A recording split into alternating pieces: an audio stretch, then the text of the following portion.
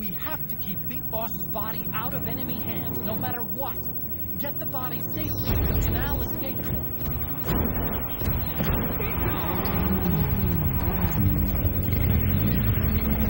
point.